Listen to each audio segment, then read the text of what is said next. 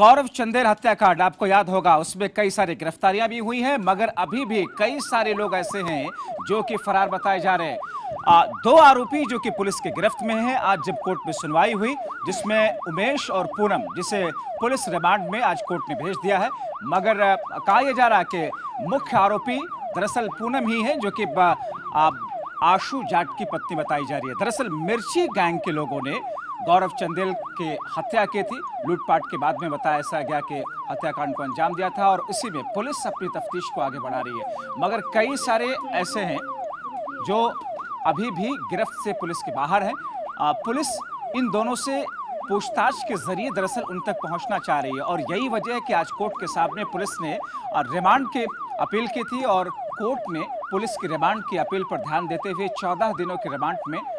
Court ने भेज दिया। अब इन चौदह दिनों के भीतर भीतर पुलिस इनकी जाँच पड़ताल, जिस लाइन पर आगे बढ़ रही है, उसके बुनियाद पर दोनों ही आरोपियों को आमने सामने बिठा करके पूछताछ करेगी, तफ्तीश करेगी और इसी के आधार पर जो पूरा गैंग जिस तरीके से काम कर रहा है और जिन लोगों ने गौरव चंदेल की हत्या की थी,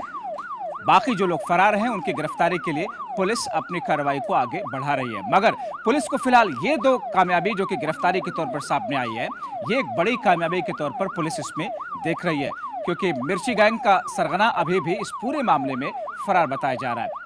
हालाँकि अब इन चौदह दिनों के भीतर भीतर जो पुलिस तफ्तीश करेगी इंट्रोगेशन करेगी, उसमें क्या ऐसी चीज़ें सामने आएँगी जिसके आधार पर इस पूरे गैंग को बस्ट करने में पुलिस कामयाब हो पाती है, जैसा कि पुलिस अपना दावा इस वक्त करती हुई दिख रही है। मगर इतने दिन बीत गए हैं और इस बीच में अभी तक इस पूरे गैंग तक पहुँचने का जो दावा था, पुलिस का अभी तक वो कामयाब नहीं हो सका है। मगर जिस बेरहमी के साथ में गौरव चंदेल की हत्या की गई और उसकी कुछ ही दिनों के बाद में उसकी कार एक इलाके से बरामद होती है, कुछ दिनों के बाद में उसका मोबाइल फ़ोन बरामद होता है और सवाल ऐसे भी उठे। पुलिस ने जो थ्योरी दी